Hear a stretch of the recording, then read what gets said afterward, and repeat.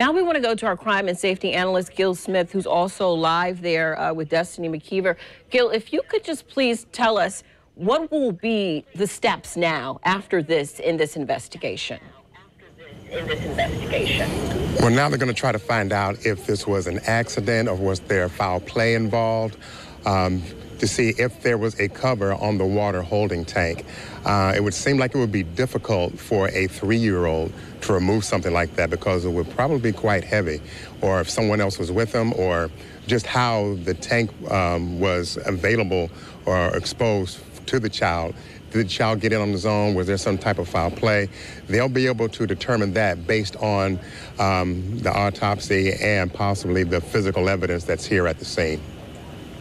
Gil, I know it is obviously early in the investigation. What details might we be able to expect uh, in the days ahead? A lot of questions again surrounding this tank, how he might have gotten in there, that sort of thing.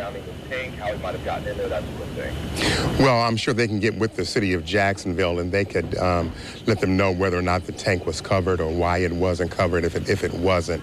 So they'll be able to get that information. Also information from family members um, who last saw the child and where the child was last seen. Was it near uh, the water tank? and if anyone in the area may have seen something. That's why they bring in so many police officers initially at 4 o'clock when they determined that the child was missing. They bring in a lot of police officers to check the entire area, talking with neighbors and everyone and checking out everything. And one thing that they did was to ask to search that water tank.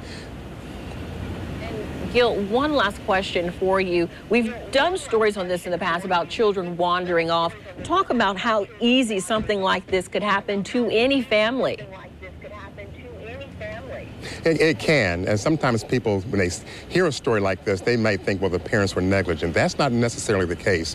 Um, when that young, it's quite easy for a, a three-year-old to just um, just wander off. It just takes a matter of seconds sometimes.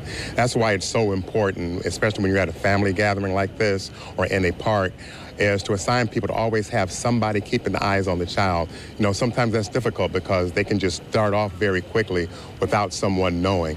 But at this point, there's still, there may be foul play involved. They don't know at this point. But um, if it was accidental, um, it's just so unfortunate that something like this would happen to the uh, our most innocent citizens, the ones who really can't defend themselves. But uh, unfortunately, this is um, the outcome tonight. Very tragic, yes, Gil. And thank you, Gil, crime and safety analyst, for your input as this investigation will continue.